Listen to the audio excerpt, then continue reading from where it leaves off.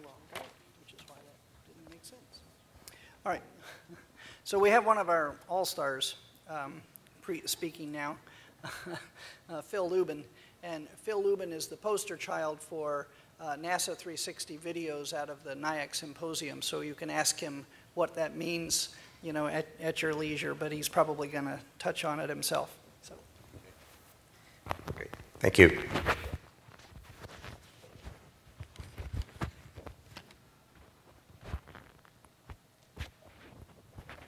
Okay, uh, so in case you're wondering if I had anything to do with the timing of the announcement, I did, did not, although I, I was, I actually, well, whatever.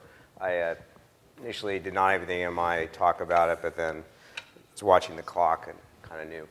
So, here it is. Um, so we now have what looks like pretty decent evidence for a, a planet around. Uh, pardon? It's an artistic image, yes, not real. Sorry. Okay. Uh, some, someday, someday.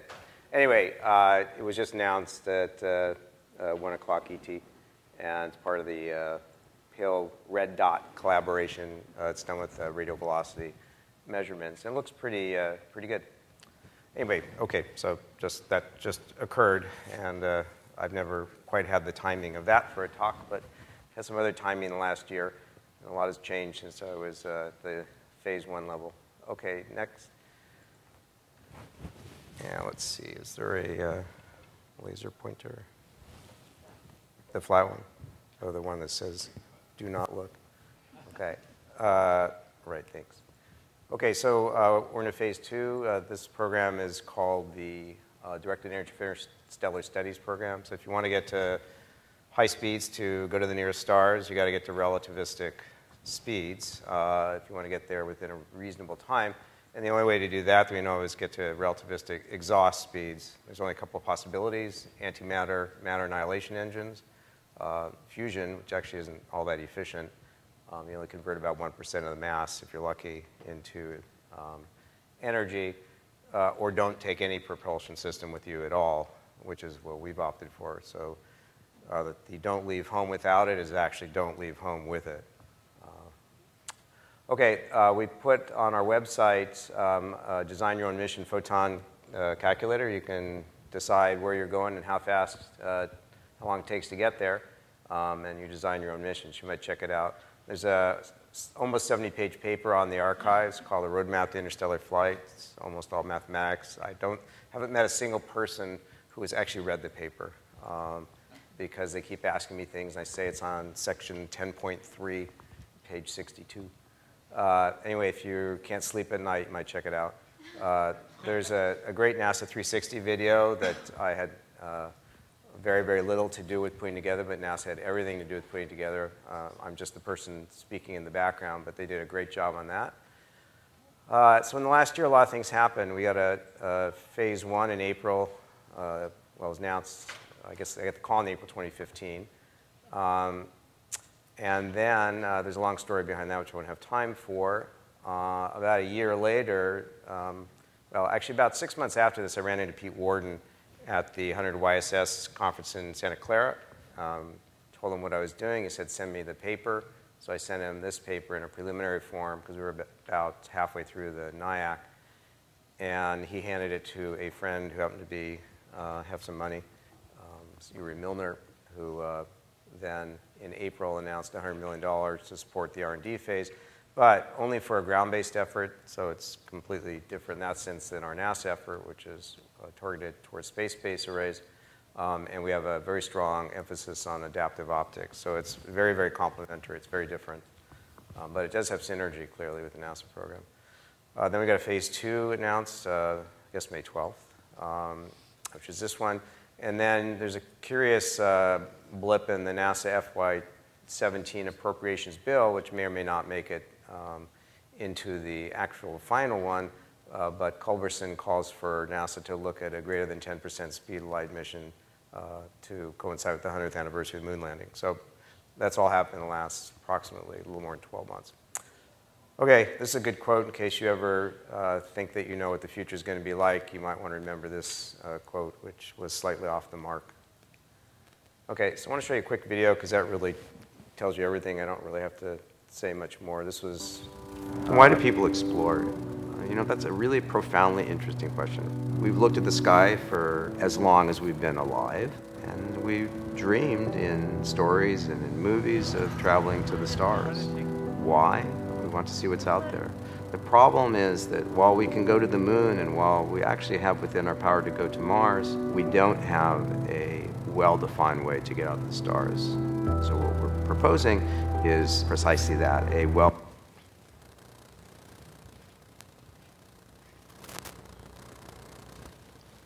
I don't know if that's me or not, but I didn't do anything. Uh, okay, if we, it's okay if we can't play it, don't worry. All right, we'll just go on. Okay, uh, if you want to look at it, it's on our website, along with the NASA 360 video, which is a great video.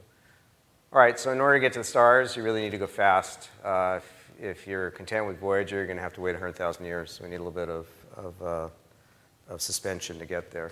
Uh, that makes it difficult. On the way out, there's a lot of things to look at, so it's not just uh, Alpha Centauri or the nearest stars or nothing. There's all kinds of interesting things. But you got to go fast to get there, and that's not within our normal propulsion technology. So this is how fast humans have gotten things to go. Uh, this is speed in meters per second over here. This is beta divided by speed of light. Um, and this is gamma minus 1, which is, uh, gives you some information about the kinetic energy. In the laboratory, we get within 1 meter per second the speed of light. Uh, this is chemical propulsion down here, and you can see that we have a long ways to go on this logarithmic plot. Probably need a new battery in this thing pretty soon. Uh, there's a technological divide in here, which is what we are looking at in terms of using directed energy to actually get us there. Okay, within 25 light years of the Earth, there's a lot of targets. We know there are exoplanets out there, and we know that there are a number of targets, so it's not just Alpha Centauri at all. We've got many targets. Uh, you know, there's lots of things which are discovered every day, even today, uh, was one announced. Um, Kepler, of course, shows us that there's about one planet per star, approximately. So that's an amazing number, very different than we thought before. Uh, I, I, had nothing to do with this, except, of course, did have something to do with it, but on the other side, uh, Culberson from Texas, who's the chair of the Appropriations Committee, wrote into his version of it uh, that NASA should look at the uh, possibility of making a trip to Alpha Centauri to coincide with 100 years since the moon landing, and then specifically mentions uh, the NIAC program and our work directly in that. So probably won't ever have that chance to influence a NASA appropriations bill. Uh, there's no money, of course, in it, okay, so don't get too excited.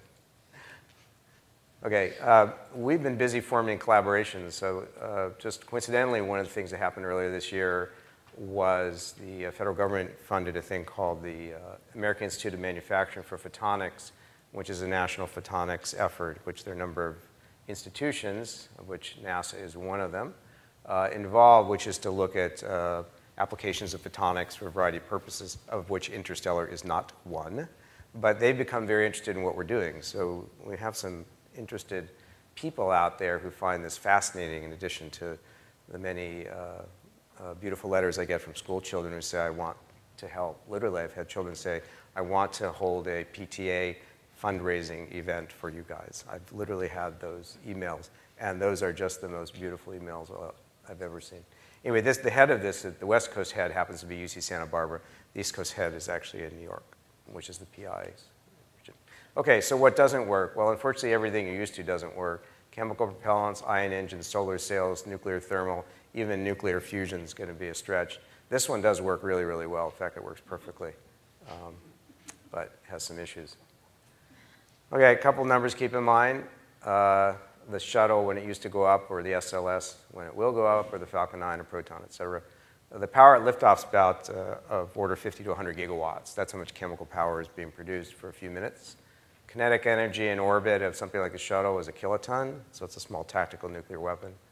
Um, the things we're talking about are very small, although we can launch any mass, but uh, heavier is slower, or more massive is slower. Uh, also has a kiloton approximately. So they make good frisbees, interstellar frisbees. Just be careful where you shoot them. Um, but if they hit our atmosphere, we actually got this question, if they hit our atmosphere, what do we see?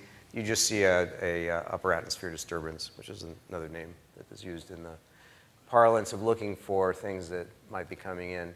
So it's very simple. You just leave your flashlight at home, take your laser pointer like this one, shine it at your sail, which this is not a good representation, uh, and then out you go. And this only takes a few minutes to accelerate up to about 20 to 30% the speed of light for a small spacecraft, very small. And then you're gone. And then what do you do? Nothing? No, you shoot the next one out. So you could shoot a spacecraft out every five minutes if you wanted. So this is a totally different paradigm shift in technology, which I think should be understood. Why is it enabled now? Why can you do it now? Um, frankly, it's because consumers want ultra-fast data. They want to watch YouTube, you know, and other things. They want the data now. So people spend a lot of time working on sending data down fibers, and amplifiers are needed. And now those amplifiers are capable of doing what we want to do. So we're uh, being driven to the stars by gamers, a lot like the other parts of electronic industries. Anyway, these things are extremely efficient. They're currently uh, 42% wall plug efficiency. And they're soon be about a kilogram per kilowatt. So you can, in your hand currently you can hold one, which is a kilowatt, uh, which is going to lead to an interesting world. They are also on an exponential growth phase. So I took data out of the literature and from my colleagues in various communities, including DoD, and just plot them up, and this is what you get. And this is power out of a single mode fiber. Uh, for the next speaker, we probably should replace this versus year. Uh, doubling time is about 20 months, remarkably similar to the electronics doubling time. This is the cost of the particular amplifiers we're using in 2016 dollars, exponentially decreasing with time, decreased time, half time of 18 months. Um, the way you do this is, uh, is using a, a fiber phased array. And this is the only way I know how to realistically do this program currently, but you know, there may be other ways.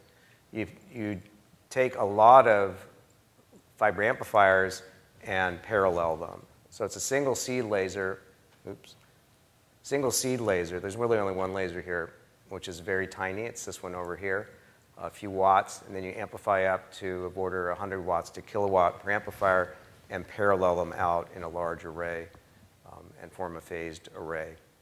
Um, okay, a lot of technical problems with that, so I could spend hours on that one. The same thing can be used in reverse. So when you're not transmitting, you flip it around, you receive, you take out the laser amplifiers, and you just use fiber going back. fiber is particularly low loss, and you suddenly have yourself a kilometer scale telescope, which is another um, technology enabled by this program, which is kilometer scale telescopes for all kinds of things, including laser comm and astronomical uses. Uh, anyway, this is what it looks like. There's a poster over there if you want to see it in detail. There's an amplifier and fiber on each optical element. Each optical element is very small. It's about the size of your hand. And then you uh, parallel them into subarrays and then make bigger arrays. This is one that we're building in Santa Barbara. Thank you to NASA NIAC. Um, we're starting to uh, build one. This is all student built. Um, this is a 19 element uh, single mode fiber array. Most of it's bought on eBay, by the way, in case you're wondering. So we try to use our, our NASA dollars very efficiently, as well as other dollars. Uh, by the way, we have no money currently from uh, the Breakthrough Foundation, in case anyone's wondering. We have zero dollars, uh, but hopefully that'll change at some point. Um, let's see. So there's uh, an equation that relates the speed to the power um, in the laser. You can't see this, sorry. And d, little d, which is the diameter of the array and lambda, of course, the wavelength. M naught is the mass of the spacecraft. Uh, interestingly, the speed goes inversely to the minus one quarter power of the spacecraft, which means if you increase the spacecraft mass by factor 10,000, the speed only goes down by factor 10. Uh, I can explain why later. Uh, anyway, these are some drawings the students are making up. It's almost all student driven. Uh, and this is what a 100 by 100 array or 10,000 element array looks like. Okay, uh, here is speed as a function of array size for different uh, aperture fluxes, 110 and 1 kilowatt per square meter. So sorry. Um, the dashed lines here are 10 to the minus 4, 10 to the minus 3. I just use my hands, uh, except I can't reach that high. Um, uh, up to 1 times the speed of light. Okay, speed of light, 10%, 1%, 0.1%. So you can get up to close to speed of light with small objects, um, or you can get lower speeds for exploring the solar system with heavier objects. Uh, a lot of details, not going to worry about. We want to build a laboratory test facility to get up to about 30 kilometers per second. It's one of the things that's on our agenda to look at. Um, this is what it looks like. It's basically a big uh, tube. Oh, thank you. Okay, appreciate that. Um, oh, much, much better. This is a real directed energy device. Thank you. Okay, finally. Um, actually, last time I was in a DARPA facility. I asked if I could use a laser pointer. Um, this facility happens to build laser amplifiers, the type we're using. They said, no, I could not, it's too dangerous. Um, literally, that's what they told me. I said, you gotta be kidding. They said, nope. Okay, fine. Okay, so this is a, about a milliwatt. Uh, so this is a, one of the laser arrays that we would want to put into a vacuum tube and accelerate up objects. So this could be done in a laboratory, a large laboratory, admittedly. Um, but we think we can get up to hundreds of kilometers per second with this technique, which brings up some interesting applications I don't have time to talk about. We can also use this for beam combining tests. One of the things we'd like to do is beam combine over a kilometer. The LIGO tubes, for reference, are four kilometers long, so there's precedence for doing that. In this one, we don't even need a high vacuum. In this one, you do. Um, so you take two arrays, put them at each end, and then you beam combine and look at all the systematics and things you want. This is a pretty high fidelity test you can do in a laboratory setting. Uh, you can get up well above 30 kilometers. Okay, sorry about that. Uh, path forward, yeah, it's not more of the same. Okay, uh, you just cannot get there uh, economically. You need integration, highly, highly integrated systems. Okay, and I'll finish quickly. This is some work we're doing in Santa Barbara on photonics on a chip. This is a III-V on silicon that John Bowers group is doing in the engineering department. This is a way to get ultra high density um, interconnects and semiconductor amplifiers on a wafer. This is a path forward to lowering the cost dramatically. Uh, this is a chip which uh, graduate student Eric Stanton in uh, EC that works with John uh, put together and submitted in May, uh, no cost to NASA. Um, this is uh, a coherent receiver, so this is the receive side for the laser com.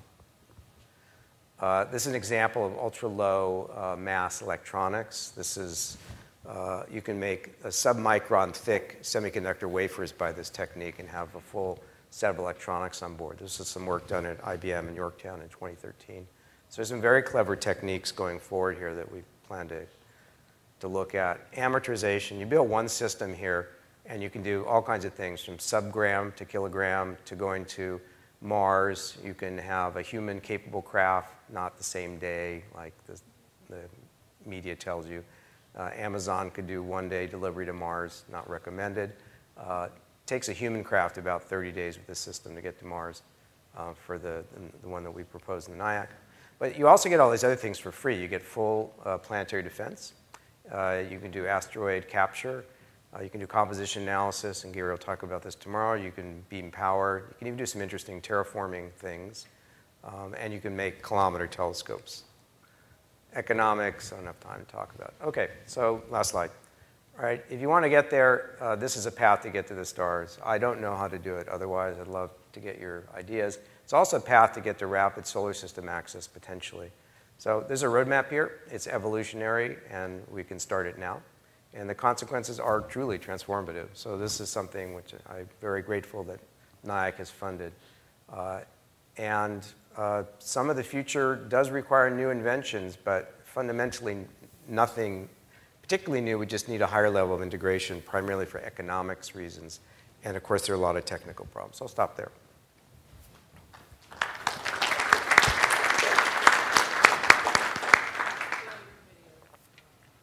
Uh, the video? Yeah. If you want to show it, it's okay. You can skip ahead a little bit if you want. Why do people explore? You know, that's a really profoundly interesting question. We've looked at the sky for as long as we've been alive, and we've dreamed in stories and in movies of traveling to the stars. Why? We want to see what's out there. The problem is that while we can go to the moon and while we actually have within our power to go to Mars, we don't have a well defined way to get out the stars. So, what we're proposing is precisely that a well defined and logical way to go to the stars, not with humans, but with robotic probes. So, I'm, I'm a professor in the physics department at the University of California at Santa Barbara. Uh, this department is one of the top 10 departments in the country in physics. We have a group in our department, the Experimental Cosmology Group, that we started in 1987. And it's a very dynamic group. Some of those students are also focused on applications of directed energy systems.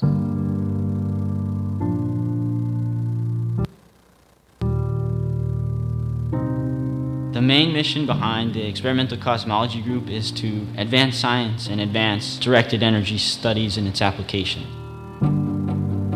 There's an aircraft flying overhead that you hear. That aircraft can only fly about the speed of sound, but that's way too slow to explore the stars. If you were to maintain that same speed and wanted to go to the nearest star, it would take you more than 5 million years in that aircraft. In our system, with the smallest probes, it could take as little as 20 years. If we want to get to Alpha Centauri in 20 years, we have to take our ideas and scale them down. And in order to do that, we've set up a vacuum chamber to simulate space conditions. Directed energy system is basically like a laser pointer. You take a laser or a flashlight, you turn it on, you direct energy. That beam can be used for many purposes. When it's taken to extremes, it can be used to deflect an asteroid coming into the Earth. It can be used to propel a spacecraft. In order to get to the future, we need to take small steps. I like to think baby steps, right?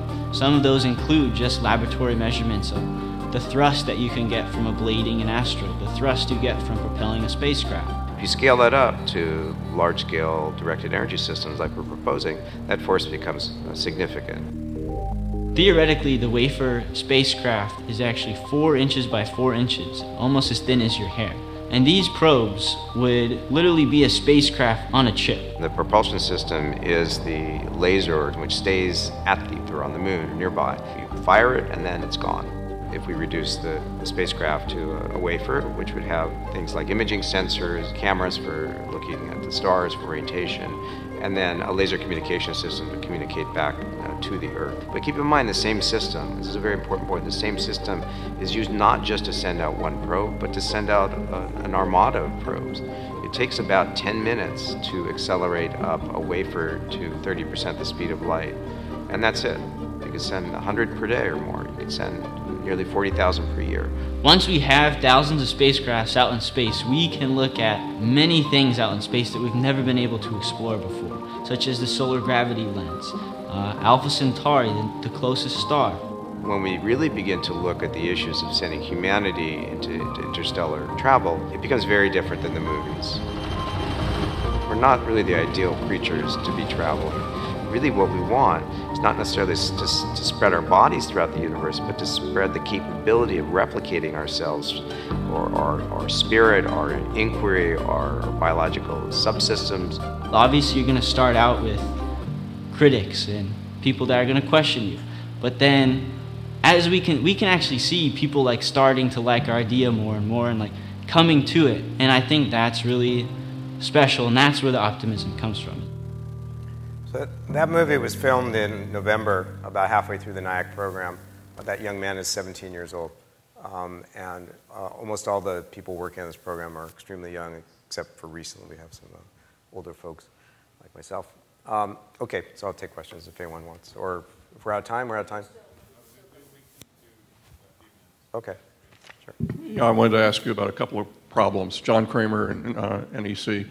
Uh, first, uh, if you take a flat object and shine a laser beam on it, there tends to be an instability in that if it tilts slightly sideways, you're going to force it tilts it further. So how do you stabilize the sail? Um, so the sail's not flat. Yeah, yeah. That, that's just an artistic representation. So the, the, sail actually has a curvature to it to maintain a passive stability. So it's sort of cup-shaped or something. Yeah, yeah. It's, it's, in yeah, some yeah. sense, looks like a reentry vehicle. All that does is switch, is shift the instability to some. Yeah, there's a variety of instabilities. Um, so you can actually beamform the system so that you have a, a non-Gaussian shape. So you can actually have a toroidal shape, so you have a hole in the middle. So you can actually, uh, in theory, you can get beam following out of your spacecraft. It has to be dynamic and change when it gets unstable or what? Uh, well, the problem is the feedback time in the servo loop because the, the, spacecraft is so far away, it goes out several lunar distances in the small case. No, I mean the, the object itself, not the beam. Uh, uh, well, the, mirror, does, does the reflecting surface have to shift it, around it, in order to stay stable? No, in, in, no, it, it, doesn't look like it has to. It can locally on board the spacecraft yeah, sense I, the beam, but we cannot uh, control it from the Earth because the feedback time is too Okay. long. But I mean, it's an excellent question. It's one of hundreds of problems that we have to deal with. Yeah, the, the other question I wanted to ask you about is that you need to be, have very, very, very high re- reflectivity because you can't eat any of the energy that's coming in. And all the reflectors I know about are very wavelength specific. And the thing is getting Doppler shifted as it goes faster and faster, so the wavelength isn't holding still for you. So what do you do about that? That's correct. Okay, so the, the, the wavelength shifts by the fraction of the speed of light. So the speed of light, the wavelength is shifted by 30%. Um, so the coatings that we've designed are actually broadband enough to, to deal with that. But uh, let me give the following example. The, the fluxes on target are, are in the order of 10 to, to, to 100 gigawatts per square meter, which sounds like a lot of flux. However, if you take a single mode fiber, which is used every day in fiber optics communications and being used today in this transmission, uh, the flux out of the end of a single mode fiber with a single watt into that fiber, which is nothing uh, compared to what it can take, is uh, 10 gigawatts per square meter. So we already know how to make materials that can easily withstand vastly more than this um, power. However, uh, you are absolutely right that you must design the reflectors so it does not have much absorptivity. The reflectivity is actually not the critical part, it's the absorptivity, which for metal is linked, but for a dielectric it's not. So we're focusing on dielectric reflectors. Um, you can get five nines reflectors, and they're 99.999% reflective today, which are good enough, and we have designs in our paper that show that. Um, and for LIGO, they were six nines. So they were 10 to the minus 6, which is good enough for us, but the problem is the LIGO coating technique is, is too thick for us. So yet another problem to solve, but it doesn't look insurmountable. That's actually one of my lesser worries. I have lots of worries. So you don't need barium fluoride uh, sintered dust? um, Don't need what? Oh, oh, no. Yeah, uh, because of course, um, you can optimize for the specific wavelength that's being shot at the Well, as, sail. as was just pointing out, as this craft moves away, you shift the resonance point if you do a Right. resonant technique. Our, our coatings are resonant, but they're broadband resonance. Right. Um, now, there's a lot of questions. Um, of course, you know, we're, we're talking about is decades, so we can be patient. Correct. Uh, but we want all these questions answered by the next NIAC uh, meeting. The, the, uh, since John already asked about the stability, and we all know there are some very big problems there. Um, also, comparison with microwaves. Yeah. I mean, some of the, some, you know, some of the, some of my pals who are, you know. I know some of them. Yes, the Benford boys and all of that. Yes, thank they, you. They, they want, they, they think that microwaves have advantages, and this is your chance to answer that. Yeah, so um, I, I won't name names, but when I speak to people, I say, let's do the math. And sometimes people walk away from me at that point. Um, so I, I got tired of telling people to do the math, so I did the math for them and gave them a calculator. Go to our website, run the photon calculator, put whatever wavelength you want in, put a microwave system in, crank the power up, change the array size, you'll get the velocity out. Okay, if you want an array to go at the same speed as the array that we're talking about, but do it at one millimeter wavelength, which is 300 gigahertz, which is extraordinarily ambitious for any millimeter wave system. But let's just say magically we could do that. You're being ambitious with your lasers. I'm being ambitious, right? But okay, so let's say you want to do that. You know how large the array is? It's the size of the Earth. well, uh, It's just, it's just physics. I can't change that. well, all right. You're trying to bundle a whole bunch of. Uh, never mind. Oh, it's just math. Uh, just math. Uh, all right. Well, in any event. Come and see uh, me if you want to talk. Very. I'm planning to. Thank you. Good. Very. I'm looking very- forward to it. Very, very, very Okay. good talk.